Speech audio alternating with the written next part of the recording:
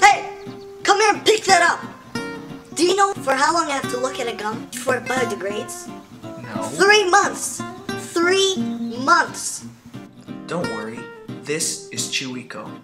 It's a completely biodegradable and organic product. And this gum is.